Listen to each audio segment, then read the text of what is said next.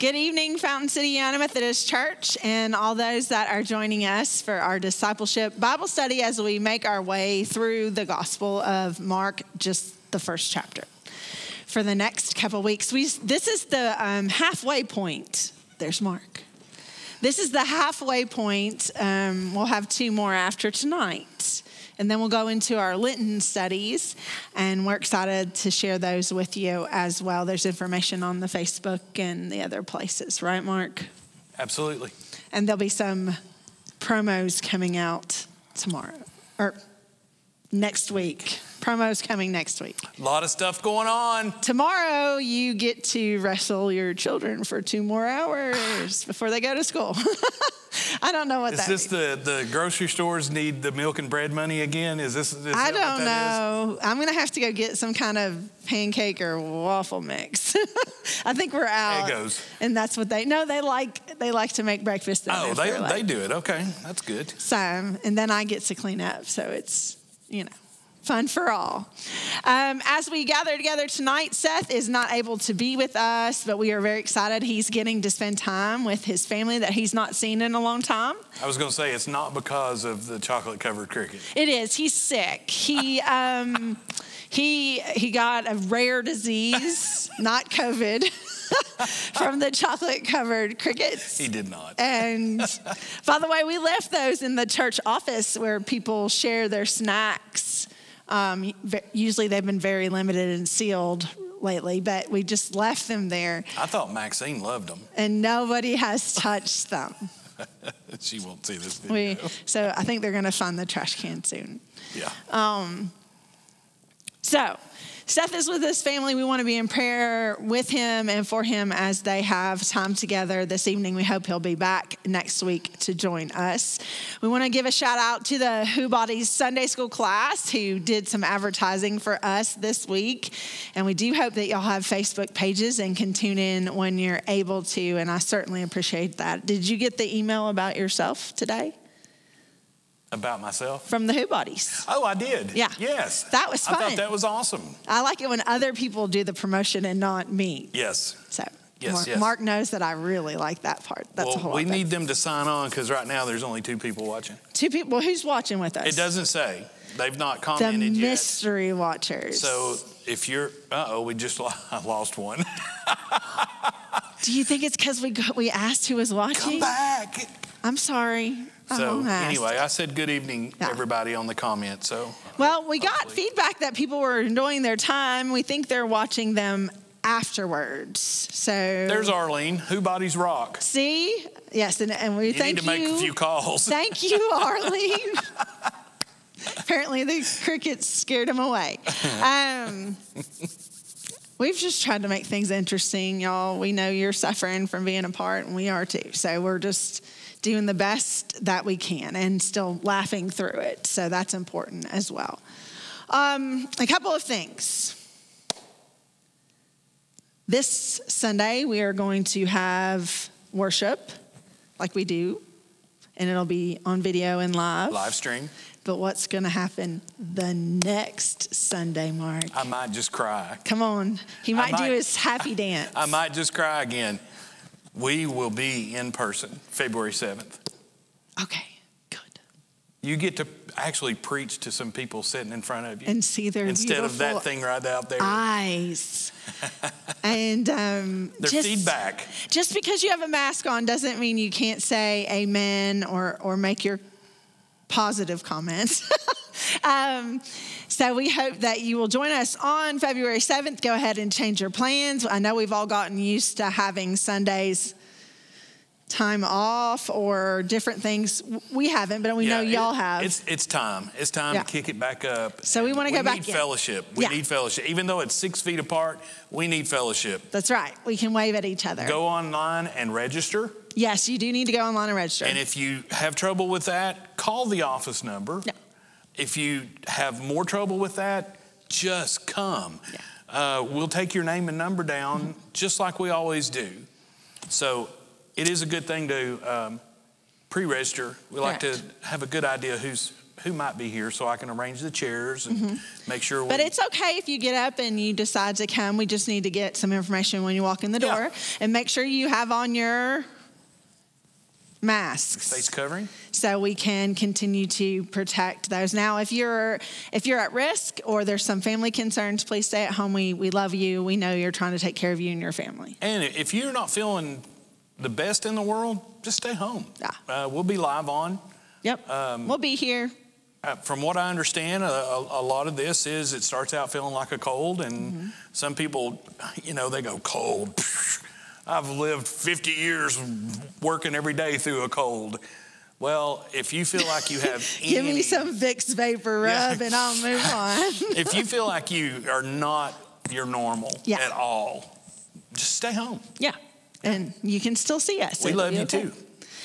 Well, tonight we are going to look at Mark chapter 1, starting in verse 21. Are we ready to look at this? I'm ready. I took notes today. I'm, I'm usually flying by the seat of my pants and reacting to what you say, but tonight I'm loaded. All right. My first question to the folks joining us is How would you describe demons? Whew. I know we don't normally talk about this as much. Um, somebody told me once that I didn't say hell enough in my sermons. but, um, you know, we're Methodists. We're about grace and love. We do, we do believe in those things. We just try not to uh, focus on them totally, and especially during all these difficult, dark times in the world. Well, I found a writer who says he thinks it's primitive to talk about demons and spirits, and it makes us uncomfortable. I think it does make us uncomfortable because I was, when I was preparing for this lesson, and then I got Seth's method, message, I was like, oh, of course, Seth's gonna leave us when we're talking about demons. Way to go. because invariably talking about demons leads us to that four letter word, and it's called evil. True. And all we got to do is turn on the news, And we see. read the paper, Yeah. and you see evil. I've experienced evil this week with a friend. Mm-hmm. That was evil. Yeah, one of our, our good journey folks that we that helps us worship. So we definitely want to keep them in our prayers. Yes. But what do you all think? How would you describe demons in the Bible to somebody that didn't know, or to a younger person, um, to a teenager, to um, a younger child? How do you describe this? You know, are we talking about spiritual beings? Are we talking about figures? Are we talking about evil? We could keep All going. the above. Yeah, Yeah. all those things. I, I think uh, even back then, maybe there were some socioeconomical issues that, like it does now, it, Yeah. it, it really wears on people, and they they have depression and anxiety, and uh, there's bipolarism or manic depressive. It used to be called. Back then, that would have been a demon. Right. Some we know that some of the um, some of the mental health concerns back then were considered demons, but we don't consider them that today. No, And we don't we don't vote for you to not go and get help No, as you can do that. Um, and I certainly don't agree with any stigma that comes with that or anything you need to do to help yourself feel better, especially during these times because there are people that have never suffered with anxiety or depression that are doing that now. Self care. Yeah. And please know you're not alone. And please be in prayer for your pastors. We've had another pastor that committed suicide in West Virginia. And it Oh, was it was, you know, there's a lot being put on your church leaders because of missing you all. So we just need to be in prayer for those things. But let me read the scripture. on, I have a comment from Arlene. She said, Demons are the people, feelings, and things that tempt us. I think that's true. Yeah. So instead of being upset with chocolate, we could say, "Get back, you demon." Arlene will Arlene will be okay that I'm responding to. But no, it is is those things that are keeping us from being who God intends us to be. It are those it's those things that stand in the way that promote false gospel and um, evilness in the world. So I totally agree with her. I also think I'm very curious about these shows that are on television, these ghost shows. I yeah, think, I think those they're are interesting. dealing. I think they're potentially dealing with. We wrestle not against principalities and powers, Powers and principalities. or pr- powers and principalities, but with dark, Mm-hmm. Darkness. evil, and darkness. But the darkness does not overcome the light. That no. That's All right, I'm not right. going into the ghost shows though. I'm going to stop before we get there, but You always put a stop sign up to me. those are scary. and you know what's even scarier was, if you, all don't know this, um, unsolved mysteries. Remember that guy with his voice that would tell you about them? Oh yes. And I would have nightmares, and I still do if I hear his voice because because of what it would Stack. say later. It was like. Tonight, thanks to the shows that we have seen before, this man was caught as he was crawling up the vines of a house, and they recognized him from, you know, Yeah. it was just scary. Okay, we're going to go to Mark chapter 1. let's get into Mark. Verse 21. Now, y'all are all going to send me those memes and stuff about unsolved mysteries, aren't you? Okay. they went to Capernaum, and when the Sabbath came, he entered the synagogue and taught. They were astounded at his teaching, for he taught them as one having authority and not as the scribes. Just then there was in their synagogue a man with an unclean spirit, and he cried out, What have you to do with us, Jesus of Nazareth? Have you come to destroy us? I know who you are, the Holy One of God. But Jesus rebuked him. It always happens. Jesus right. rebuked That's him, right. saying, Keep going. Keep going. be silent and come out of him. And the unclean spirit, convulsing him and crying with a loud voice, came out of him. They were all amazed and they kept on asking one another, What is this? A new teaching with authority. He commands even the unclean spirits and they obey him. At once, his fame began to spread throughout the surrounding region of Galilee. Now, before we go forward, we need to go back. What was last week? He called his first Uh, disciples. disciples. And so, so far in the Gospel of Mark, chapter one, we have seen Jesus' baptism.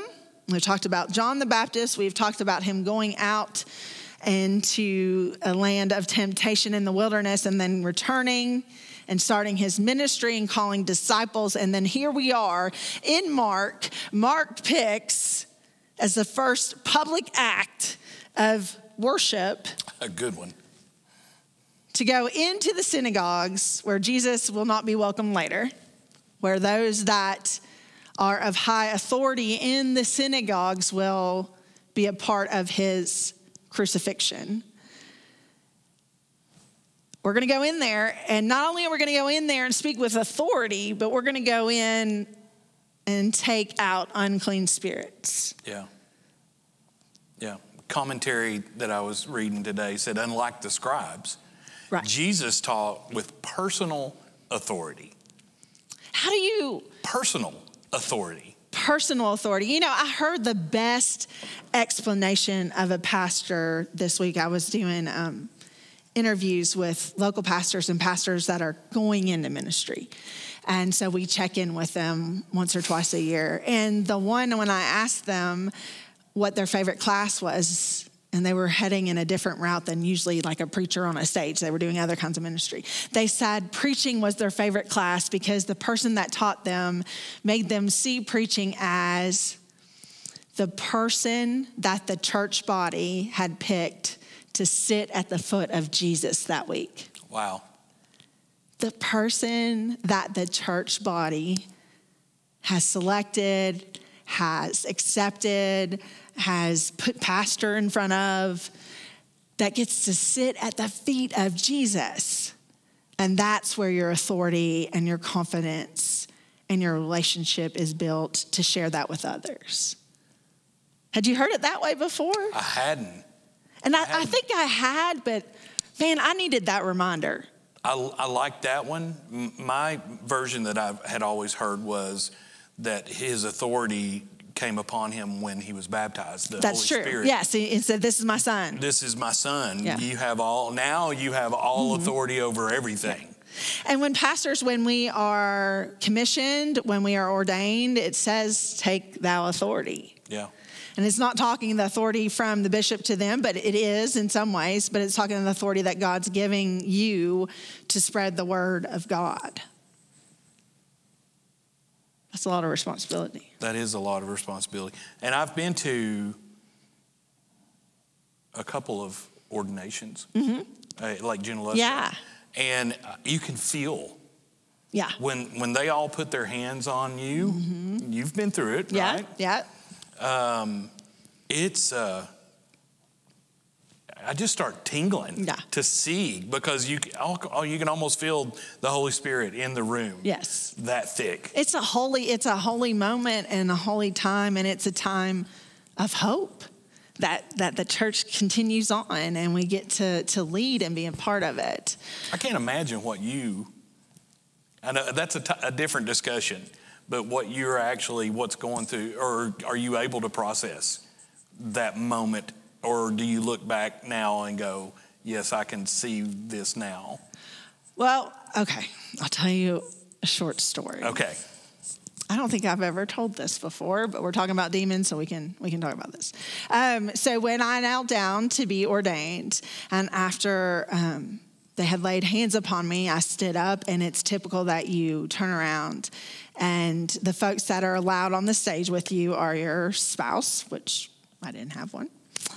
And um, your two pastors that you picked that have been mentors. So it was my dad and one of my best clergy friends and then your district superintendent. And so when I turned around and I stood up, um, my dad said I had this look on my face like I had seen something or experienced something. It was just holy. And I hugged the district superintendent instead of my dad or my best friend. And my dad said, Why did you do that? I said, I didn't see the district superintendent. What I had seen was my uncle who had gone, who had passed on already. He was a United Methodist minister and he had been a district superintendent. And I just reached out to hug him, and, and there it was. wow, And um, it was a holy moment. that's amazing. I must have had a very large impact on your life. He did well, and he did, but it wasn't that we got to spend a lot of time together. It was the stories of his life and what he went through, and the stories my grandmother told. It was his, it was her brother. So, see, they show up in different ways, but to speak with authority, um, Jesus stood and spoke with authority, and he um, offered that as he was removing this demon. The demon cries out and says that Jesus is the Holy One. I always find it interesting. Uh, You know what I find interesting? What was he doing there in the first place? The demon or Jesus? No, the demon. Don't you think it's odd to find him in the synagogue? Yes, I think that is odd. Was there not an usher at the door checking the the, the unclean spirit cards that day? Did they take their temperature and ask them the COVID questions? Um, I'm sorry. Okay, so, but think about this. When we come into the sanctuary, we bring those with us sometimes, don't we? Yes. The evil that we're battling, the things that are going on with us. Um, on Tuesday nights, we bring the addiction and the temptations that come into this place, and we would not refuse the, anybody that walked in. Absolutely not. So, That de- that demon was exactly where he needed to be. right. Well, let me say that the, the, Right the person that he was inhabiting was the, in the right spot they Mm-hmm. Right. needed to be because they obviously were. Right. Do you think that of that. that's the example of good and evil? That this person who was consumed by the evil forces um, was still able to get to the synagogue? There was still that. So, how did the demon get there? The person brought it. Yes. And the demon cried out that Jesus was the Holy One. um, the one of God. And the demon left. The, that's the part of that text that makes the hair stand up on my, my neck because the demon goes, I know who you are. Yeah. You're the Holy One of God. Even the demon knew. When nobody, nobody in that synagogue knew who Jesus was, Right. but he did. And the, so the demon confirmed Jesus' authority. And nobody went, First. oh, hang on there, John. I don't know how many people you got in you right now, but what did you just say? You know he's the Holy, Only One, of God? Yes. but think about it in the Gospel of Mark, John the Baptist proclaims that Jesus is who Jesus is, Yes. and God proclaims that Jesus is who Jesus is. And the disciples follow Jesus. But a public proclamation of who Jesus is was by a demon Yeah. first, besides the baptism. Yes. That's pretty amazing. It is. And, and that's why the hair stands up on me because um, I've not always been at that spot where I can say, I recognize the Lord or I know who you are. Right. And well, and sometimes we we want to recognize the Lord, but we're so hurt or in pain or focused on something that's difficult, we we don't see him. I wonder if that's our own letting our own evilness come through. Uh, Let me share this. I, I thought this was very neat from, from what I've read today. This, this person says um, the title, Holy One, is particularly apt uh, because the Holy Jesus comes to deliver the world from all that is unholy. It isn't Jesus' earthly origin, Nazareth, that troubles the spirit, but Jesus' holiness. Oh yeah. Jesus is holy and the spirit is unclean. Perhaps the unclean spirit is saying, Hey, we operate in different spheres, Jesus. Go back to where you belong and leave us alone. I don't think that's going to work with Jesus. No, well, no.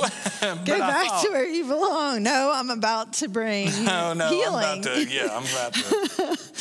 Um, I think that's true. It- you know, that J- Jesus, the hearers are hearing his authority. The demon is recognizing who he is and that he's able to destroy the evil.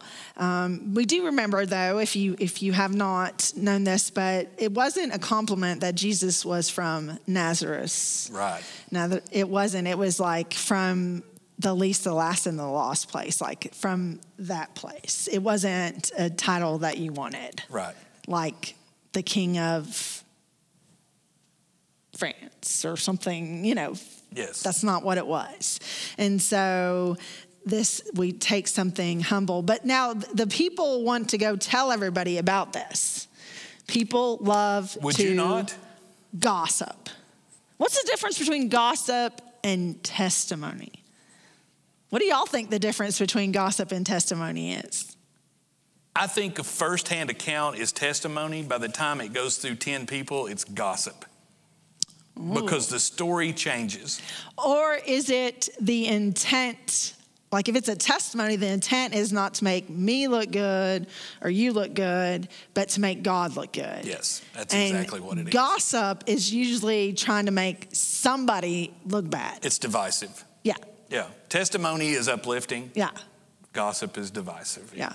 So I think when we say we're sharing information at church, let's make sure it's of a testimonial nature and not of the gossip nature. Yes. Have you seen that happen? I've seen that happen in prayer requests. Well, I want to share this prayer request, and you're like, "That's not a prayer. That that that's too much information there, folks." Yeah. yeah. so we we try to do our best and, and know that God fills in those things. But something that we we think about. So the unclean spirit recognizes this, but Jesus attempts to curve the spirit's information about his identity and his deeds. Why? Why does Jesus not want his authority and identity to get out into the world? When we did Mark in our discipleship class on Sunday mornings, uh, one of the focused stories of Jesus was him turning water into wine Okay. and the dialogue between him and his mother. Right. Can It's you not imagine time really yet. how that went? Right. Mom, Why do you ask me to why are you my asking me to? But, and, and it came down to this. Once I do this, I'm off to the cross. It starts. It's beginning. Once I become public with it, my path is leading to the cross. No. And can you imagine him? It, we were doing the humanity of Jesus. Okay. Can you imagine him going, you know, he Yeah. in the garden he cried. you Yes. know. So, as a human, I can imagine him going, ugh. Yeah. Now? Yeah. You want to start it now? So that's, and I think of this story in Mark 2. Here we go. Yeah, here we go. And you and you think of Jesus' humanity and divinity, how much he carried with him was so bigger than the cross because you know how we can be overwhelmed by the weight of the world. Can you imagine what he was feeling? No, I can't. I, and I can't either, but I know that he was feeling those things for all of us. Um, one explanation of these passages is that Jesus wishes to demonstrate behavior that is humble rather than self seeking. I think that's true. I think that's true. And If you have a self seeking uh, personality or person, um, that's difficult. Of course, it could be more helpful in this day and age because if you want to be on camera and like to be on camera, then you're good to go, right? yes, you are good to I'm go because like- she is very good on camera. no, I do not like to kicking and screaming till the time I go, okay, we're live. Yeah. And then she's like, okay, let's talk about Jesus. Let's talk about Jesus. That's why we're here. Put me aside. Um, but you think about that, and then think about the most humble people you've you've known. Who was the most humble person that you've known, and why would you say they were humble? It would be my father. Okay, but why? Um, because he meant no harm to nobody. That's one of the do no harm, do good, stay in he love with God. He literally didn't have a divisive bone in his body. So if somebody came up to him and was like, This is horrible. I can't believe this is going on in the world. We need to take care of this. Don't you have anything bad to say about this? He would be like, He would break it down. Okay, let's talk about this. Very calm and cool and collected. Yeah. You know, he was quite awesome Yeah. in that arena. Now, my mom, on the other hand, was like a, a those little pop up things on a turkey when the heat gets high enough. They pop open to tell you that it's done. Oh yeah, That's okay. People, we need but them she too. loves people too. She babysit over 300 children in her home in 35 years. That's got to be a heart of a, a I know. a saint. we, have, we, need those Yeah. people too. So, um, humble, you know, I thought about Mother Teresa and her humbleness, um, but she didn't want to be on camera. She didn't want to um, be noticed in that way. She just wanted to do what God had called her to do. So, I wonder how many times in this day and age our leaders, our faithful people, our teachers, our prophets, our preachers, how they're being judged on worldly attributes instead on godly attributes. Yeah. They're not loud enough, they're not boisterous enough. Well, can you see their spirit? They're calm, they're together, they're leading. Um, and so we're just really thankful for that. Maybe we should reevaluate how we view folks. Speaking, One- speaking of leading, Mm-hmm. Mr. Seth Charles just checked in and said, I see you. Miss y'all, but have a blessed night. yes, you avoided the demons. I would have loved to have heard him, but maybe we can revisit this again. I think Seth would have a very Seth would, good yeah. point about the and we did touch with CR and and but we we would like to hear what Seth says. We'll bring it up next week. yeah. Let me see this one other part. One explanation of these passages is that Jesus wishes to demonstrate behavior that is humble. In Jesus' world, people expected a favor to be repaid with a favor. Now, wait a minute. In Jesus' world, people expected a favor to be paid with a favor. It wasn't even an ask or a, well, if they feel like it, they expected it. Yeah. I do something for you, you do something for me. A gift by gift. Further, people of high status often sought to make known their status, status through honorific titles. So, like Holy One could have been considered an honorific title. Jesus, however, avoids both repayment of his gifts and the titles. How many times do we expect a payment for a payment? And as disciples, I think that really hits something on the on the head there, the nail with the hammer, however you want to say it, but we don't do it because we expect something. We should be doing it because God has called us to do it. Amen. Um, what does that say now about ministry? We do it because God has called us to do it.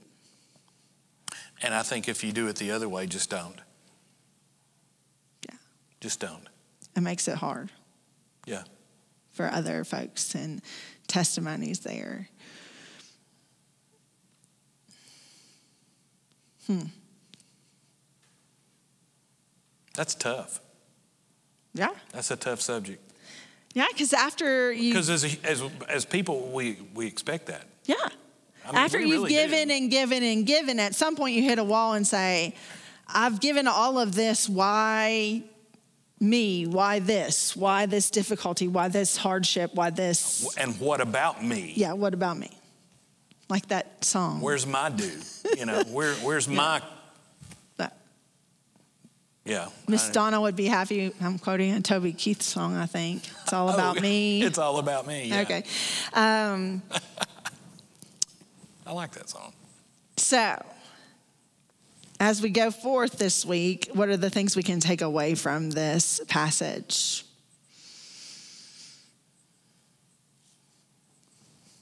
I think we can take away the fact that whatever the evil is out in the world or that's tempting you or with you, that you can um, seek God in all things and seek Jesus and ask for help to have that taken. And if you can't do it alone, to go find another person that will help you. Because sometimes we can't. That's true. It's kind of like the mentor with Celebrate Recovery. Yeah.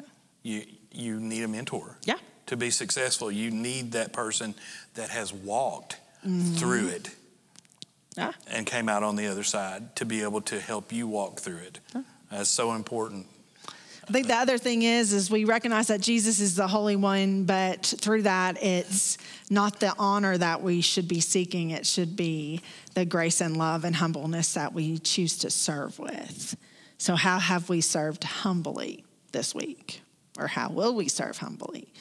How can we serve humbly? Um, that's what I'm going to take this week. It's hard. This is a hard scripture. Yeah. Um, I, I like the parts about the authority and where the authority come, comes from. Um, I am a little bit ashamed that the demon knew who he was Before the other before folks. the others did. That's true. But So what happened? I mean, it kind of goes with that. If we don't cry out, if we don't praise God, if we don't sing, if we don't lift up our prayers, even the what will cry out. Mark, come on. the rocks, the rocks are going to cry out. the rocks, So why would we be surprised that a demon did? He was scared. Yeah. Well, but you know, all those folks in the synagogue, right? They weren't crying out that Jesus was the Holy One and they were impressed. They were just saying, oh, he presented himself with They were all amazed. or maybe they weren't. Maybe they were just like, well, look at him. He thinks he's better than all the rest of us. Yeah. He's from Nazareth. He's Yeah, really who- not that good. Who is this? Yeah. Why do we why do we want to listen to him? But we have to sit at the feet of Jesus to know what we're called to do. So, how do you sit at the feet of Jesus this week? That's something I'm pondering. And I'm sure Mark will ponder it along too. I had um, another thing I wanted to share about. We were talking about the scribes and the Pharisees. Mm-hmm. Um, this devotion said that there was another side to their lack of belief, and it, it, they list their devotion to tra- tradition was a problem.